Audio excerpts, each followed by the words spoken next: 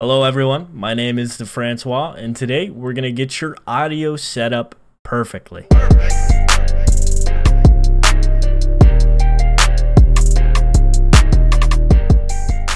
Unfortunately, YouTube is filled with a bunch of inaccurate tutorials when it comes to Voicemeeter, Voicemeeter Banana, and Voicemeeter Potato. Voicemeeter by nature is just well, slightly confusing. If you don't have any experience with audio prior to looking at Voicemeeter, all of the knobs and the volume sliders and all of the buttons on the application might be very confusing for you. And that is the major reason for all of the inaccurate videos that are all over YouTube. But don't worry, I can assure you this is going to be the only Voicemeeter video that you'll need to watch when it comes to setting up Voicemeeter Banana. Whether you just want to set up your microphone to get that boost in audio quality in your microphone phone, or you want a full-on professional god tier audio mix for your desktop. There will be two portions to this video. In the first portion of the video, we'll talk about setting up your microphone and Voicemeeter, how to set it up in other applications, and what kind of adjustments you can make to your microphone within Voicemeeter. This portion is for those of you that want to quickly get your microphone set up in Voicemeeter and never have to watch this video again. You can visit the timestamp on the screen if you want to go ahead and get started with that setup. The second portion of this video is for those of you that want a god tier your audio mix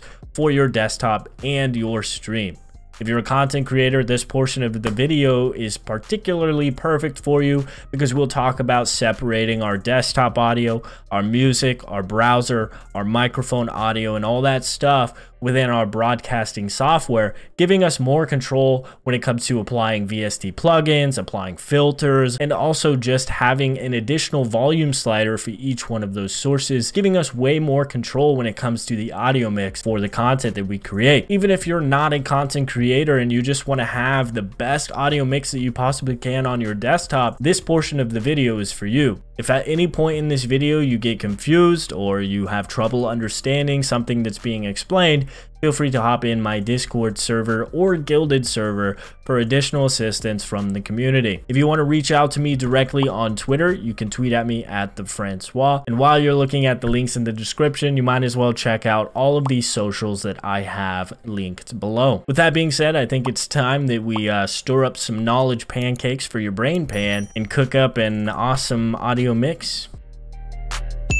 All of the downloads that you need for this video are linked in the description below. For this first portion of the video, all you need is Voicemeeter Banana. Keep in mind, when you download Voicemeeter Banana from Voicemeeter's website, it will actually download all three versions of the application. So when you go to open the application, you need to make sure you open the Voicemeeter Banana app. You can do so by searching in your Windows search bar and typing in banana, and Voicemeeter Banana will pop up here. Otherwise, by default, it will open the base version of Voicemeeter. When you first open up Voicemeeter Banana, this is what it's going to look like. You have the hardware inputs on the left. This is where we can select devices that we have hooked up to our computer, things like our microphones. In the middle, we have virtual inputs. This is where we can send virtual devices that are on our computer, for instance, music applications to these sources. In the bottom right, we have the master section. This is going to be our volume sliders and our controls for our hardware outputs and our virtual outputs. I don't want to confuse you. We'll talk more about that later. And then above that, we have the hardware outputs A1 through A3. This is where we can select things like our speakers and our headphones.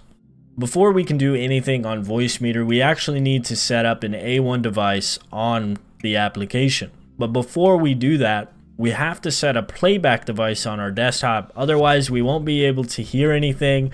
For instance, you'll lose the sound for this video. So the way that we do that is by clicking or right clicking on the speaker icon in the bottom right of your windows and going to sounds. Once you're in sounds, you can click on the playback tab we're going to scroll down till we find the Voicemeeter input. We're going to click on that input and we're going to set it to default. We're going to hit OK on that. Once we've done that, we're ready to set up our device on the A1 source. So what we're going to do is select our main source on the A1 selection here. You can pick your speakers, your headphones, whatever you use on a day-to-day -day basis needs to be selected here. You'll notice that there are multiple selections for the same source. In front of those selections, it will say WDM, MME, or ASIO, or KS. Uh, these are different driver types that will run that device. If you're on Windows, WDM will have the lowest latency uh, outside of ASIO. So I suggest you use WDM, but if you have issues with like crackly noises or anything like that, you can try switching this over to MME. After we've set up our speakers or headphones on our A1 source, we're ready to set up our microphone within Voicemeeter. So if you left click on that input, it will drop down a list of your options and just go ahead and select your microphone. After you select your microphone, you should see that meter rising up and down indicating that you're speaking into your mic. Just so you don't forget that this is where your microphone source is, if you right click on the title here, we can change the name of this source over to microphone. After we've done that, I'm gonna have have you toggle off the B1 and switch this over to B2. The reason we do that is so that you don't accidentally forget to toggle off all of these other B1s uh, when we're setting up our microphone on different applications, creating echoes and all kinds of nonsense. So we use the B2 source just to make it easier. Real quick, before we continue, I want to kind of summarize what we just did. We set our default playback device on our desktop to the virtual input, which is this source here, the Voicemeeter VAIO input. So all desktop audio will play on this source. We want to make sure we have the A1 source toggled because this is going to send that audio to our speakers or headphones whatever you selected on that A1 device in the hardware outputs. Then we set up our microphone on the hardware input 1 and we switched it from B1 over to B2. Now that we've done all that, we're actually ready to set up our microphone in applications. There are two ways we can go about doing this. One, you can set the default recording device on your desktop to the Voicemeeter output that we selected just now, or you can manually select the Voicemeeter source in every single one of your applications. It's a whole lot easier to set the default recording device and then setting all your applications to default than it is selecting the source in all of your applications. So what I'm going to do is show you how to do that. So if you again right click on the speaker icon, go over to sounds and then go to the recording tab. We're going to scroll down till we find the Voicemeeter aux output the reason we're looking for this source is because the B2 source is the Voicemeeter aux output. So what we've done is set our microphone to that source. Then we're going to set up this source as our microphone on our computer. Pretty awesome, right? Now to make things easier so we don't get confused and keep saying Voicemeeter aux and Voicemeeter this, what we're going to do is rename this source. What we can do is right click it, go to properties. In the properties, what we're going to name this is Voicemeeter Microphone. And go ahead, apply that, and hit OK. Now you don't have to think twice about whether or not you're selecting the right source because it's labeled Voicemeeter Microphone. What you're going to do is select that source and set it to default.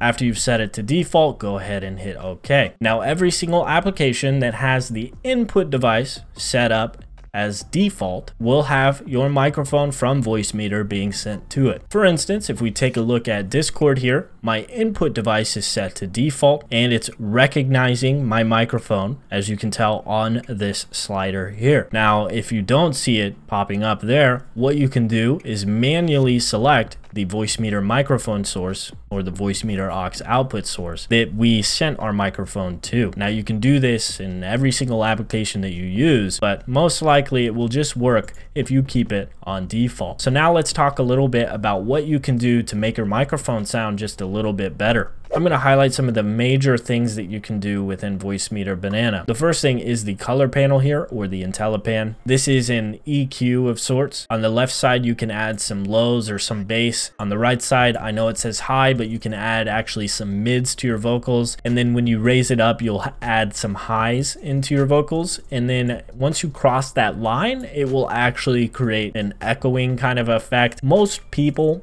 find that they like it, you know, sitting in a little bit on that low, a little bit on that high, you know, right in there in that mix. Now, if you double click on that, it will actually reset to the default location. Below that, we have the audibility. There are two dials in the audibility. You have the compression on the left side and the noise gate on the right side.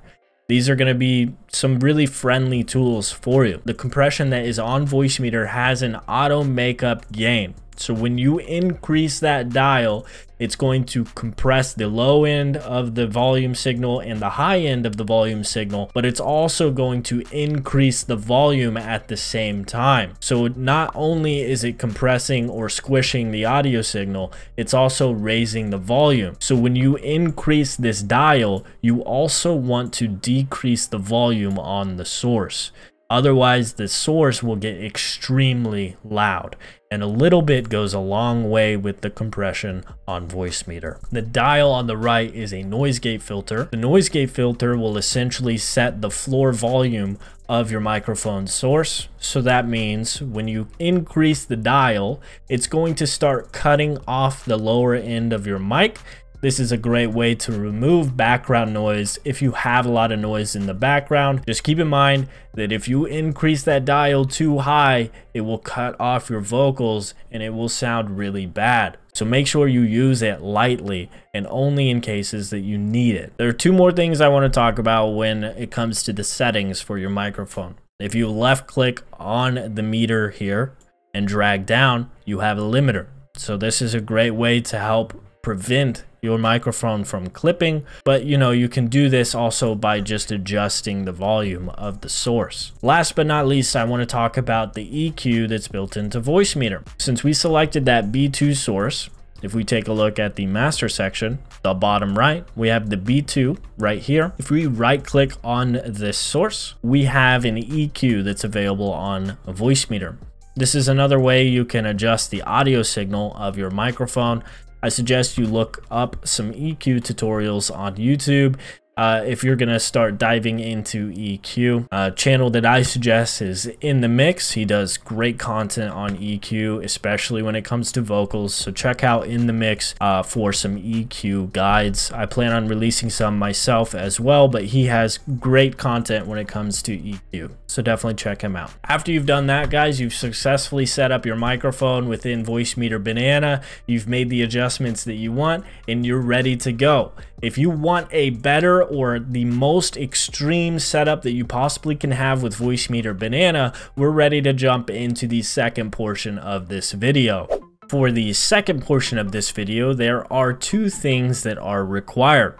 One is the virtual audio cables and EarTrumpet. Both of those downloads are linked in the description below. The virtual audio cable is what we're going to set up on our hardware input to, and this is what we're going to use to send our browser and music audio sources to. So after you set that up, you can change the name to browser slash music now, if you want to separate the browser and music into different inputs, you'll need an additional audio cable, and the additional audio cables cost money. You can find them on vb-audio.com, or you can download Voicemeeter Potato, which has a third virtual input on the app. After you've done that, we're ready to actually route our browser and music audio to that source what we're going to use is EarTrumpet. Now, EarTrumpet is a routing tool available for us on Windows. Windows 10 does have a built-in routing tool in the apps and device preferences within the sound settings, but we suggest EarTrumpet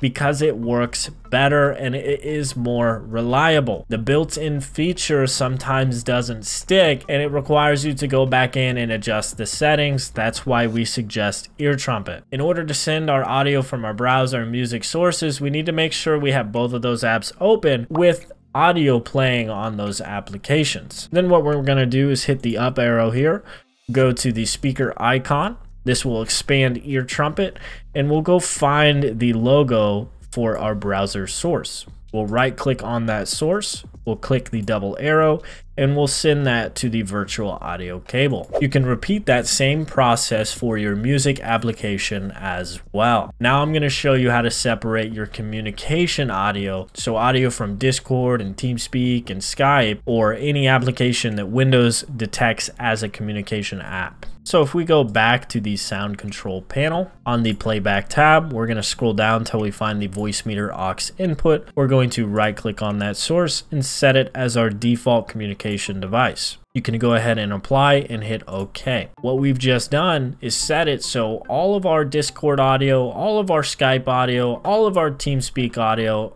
any of our communication applications will be sent to this Voicemeeter aux input source here. So you can go ahead and right click this and change the name over to comms or communications or whatever you want to have it. That means that this source here is going to be our desktop audio source because we've pulled off music, browser, and communication audio from that source. All that's left is our desktop audio and our video game audio or any other application that you have. Now that we've done that, I'm going to show you how to separate all of these sources within OBS so that you have a bit more control when it comes to your video recordings and your streaming. Now that we're here in OBS, there's two ways that you can do this. You can do it within the settings of OBS or you can create audio sources in the sources window. I'm going to show you how to do it both ways. The first way is by going into the settings here, going to the audio section. And what we're going to do is set our desktop audio to the Voicemeeter input source. We'll set up the desktop audio 2 as our communication source, which will be Voicemeeter aux input. Then we'll set our microphone to the Voicemeeter aux output or the Voicemeeter microphone. And then last but not least, we'll set the next microphone source to the virtual audio cable for our browser audio. Alternatively,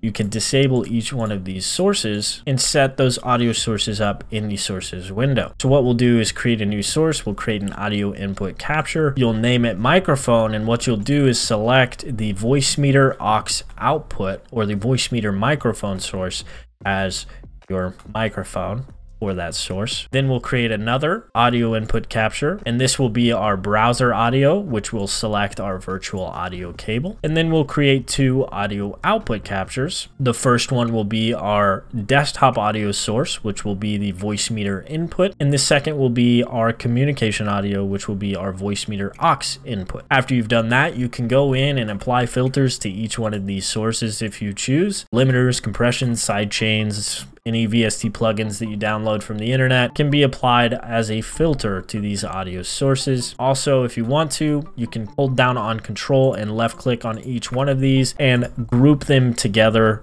uh, so that you can you know, copy and paste that group into each one of your scenes. I want to thank you guys so much for watching this video. Like I said before, if you guys need any additional assistance after watching this video, feel free to hop in my Guilded server or Discord server and my community will assist you. If you're looking for ways to support this channel, check out my Guilded subscriptions within my server linked in the description below.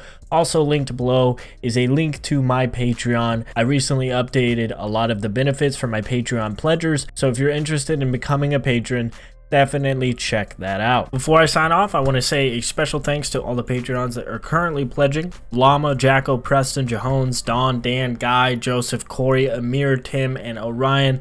You guys have been supporting for a very long time, and I appreciate everything that you guys do. Thank you so much for your endless support, and I hope you have a good one. Peace.